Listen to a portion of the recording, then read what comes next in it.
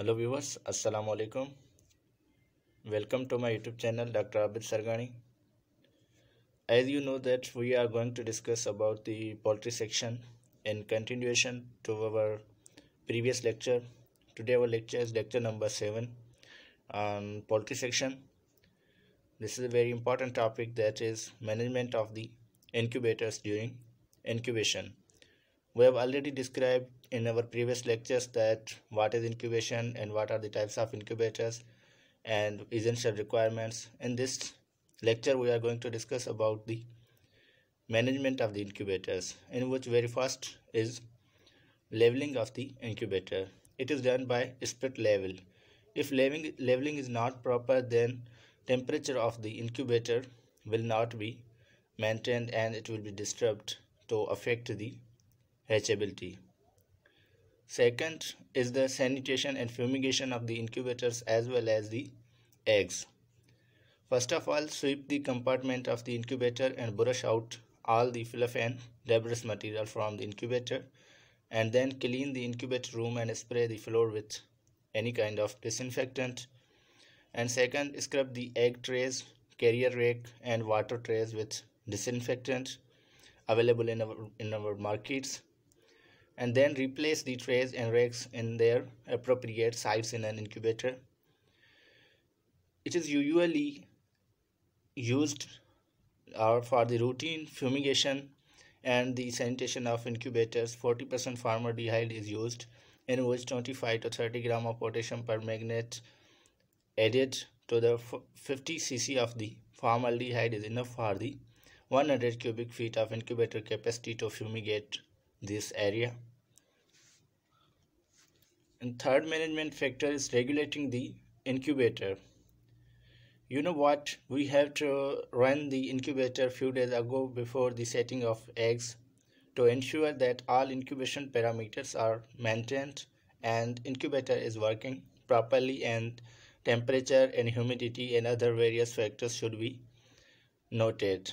It is recommended that 103 degree Fahrenheit for at least 24 hours before the setting of eggs the incubator should be adjusted.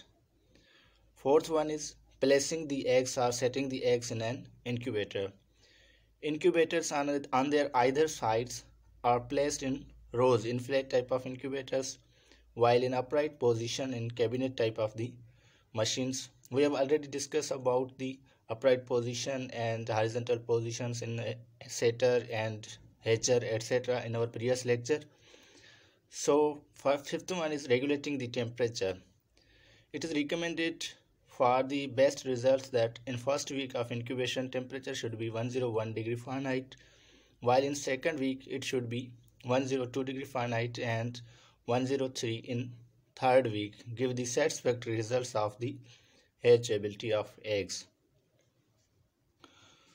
sixth one is sufficient ventilation of the incubator we have already discussed the normal levels of the carbon dioxide and oxygen in our previous lecture. You know what if the carbon dioxide is greater than 2% causes the de rapid decrease in hatchability while oxygen requirements increases up to 140 to 150 times as compared to, to first day of the incubator to 21st day of the incubation period. And seventh one is egg turning.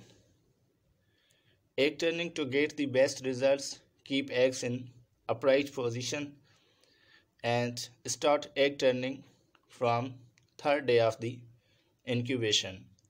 We have already discussed about the optimum turnings per day in which early stages 4 to 6 turnings daily at early incubation period are recommended. And after a week 8 turnings per day after equal interval of time in a day gives the best results of the hatchability and sees the egg turning at 18th day of incubation are in setter eggs are not to be turned.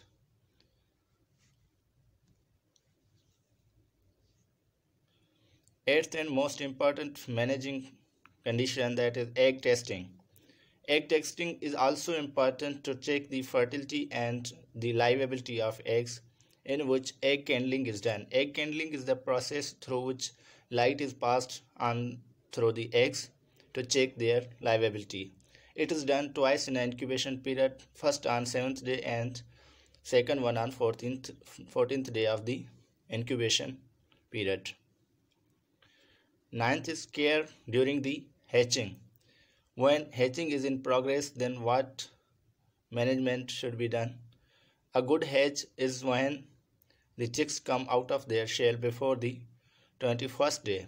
It is very much important point to be noted and chicks remain in incubator for at least 18 to 24 hours without feed. You should not remove the eggs from the incubator till 24 hours. And then after drying off and fluffed out the chicks, the temperature should be reduced to 93 to 95 degree Fahrenheit for hardening of the chicks before transferring them to the brooder. It should be maintained in an incubator at lower temperature to train them that how to survive at lower temperature or to be maintained in an